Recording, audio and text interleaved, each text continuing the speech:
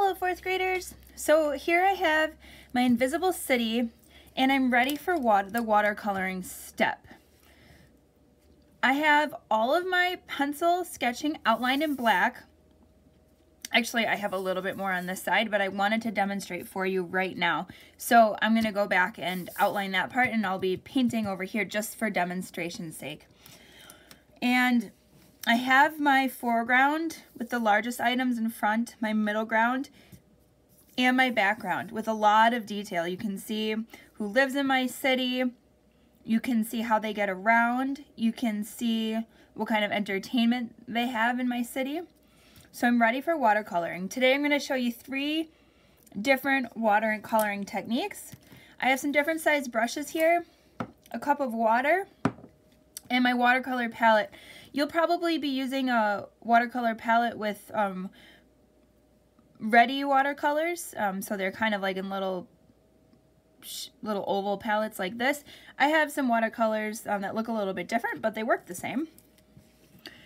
So the first technique I want to show you is called wet on wet, wet on wet.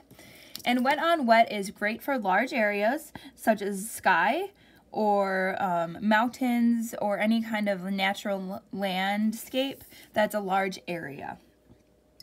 So I'm going to take actually just some plain water, no watercolor yet, and I'm going to apply that water to the area that I want to put watercolor.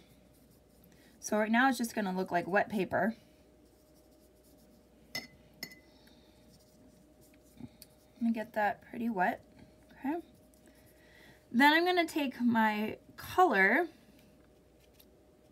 and I'm going to drop it in. That's what I call this step. So I drop in my color. Um, it's going to be kind of like sunset in my city. So I'm going to be dropping in a few different colors. To give that illusion of the sun setting. Okay. And then what you'll notice is that wherever there's water, the color starts to spread. I might need to coax the colors around, so that means kind of like add a little extra water if the color isn't moving on its own. Depends what kind of paper you have, so sometimes they don't slide as well. And I can kind of lift up the paper and like give it one of these, slide it down, slide it over, and the color kind of moves with the water. It spreads with the water. So that can be a really beautiful way to get a um, large area where you want blended color. I personally, I really love the wet on wet on wet technique. I just think there's like so much variety that can happen with it and the, I love how the colors just blend right in front of you as you do it.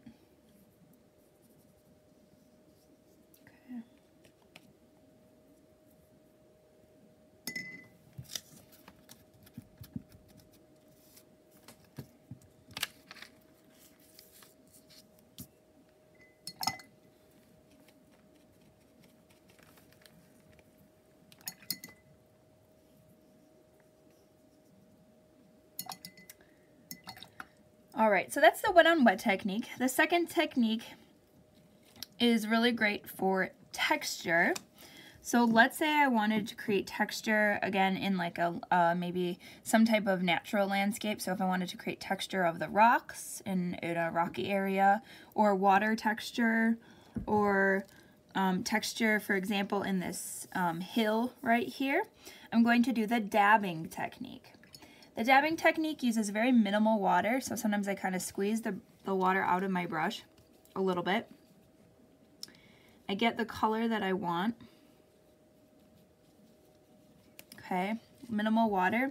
And then I do pressing. It's almost like printmaking. And this is the only time that I really use my brush in this way because usually we learn not to push on the brush like that. But for this, I actually want to basically dab it on like a sponge creates a great texture with which you can layer colors on which makes a really cool effect for places that you want to appear like they have a texture, those natural areas especially. So there we are. Remember, very minimal water for this technique because you want to see the brush marks. And I'm layering. You'll notice each time I'm kind of using a slightly different color. This is a grassy hill, so I'm using mostly yellow, greens, and blues. If you look at grass in real life or even in a photo, you will notice that grass is not just one color. It has a lot of shades and tints and tones of green and sometimes even blues and yellows and sometimes even browns.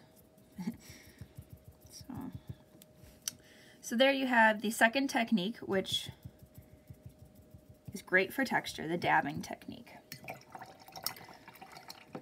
The final technique we're all familiar with, it's just your standard get your watercolor brush wet, um, take your color of choice, and simply paint it on. Wet brush, watercolor on the brush, and then I'm just going to lay it in. I'm going to do the handle of this paintbrush character here.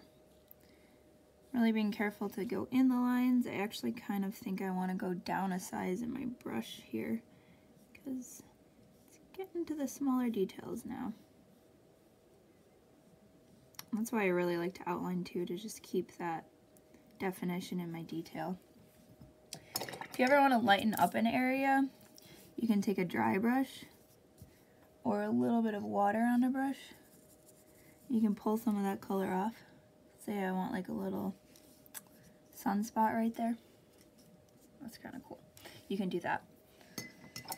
So those are your three watercolor techniques. Your whole painting is going to get watercolored. Take your time. Um, try the three different techniques if you can. If you have a spot to try them on your page, that, that would be a good fit for that technique. It's not necessary that you try every technique, but what I'm looking for is that you're using the technique that is appropriate for the different areas of your painting. All right, fourth graders, have fun, and I can't wait to see your finished Invisible Cities.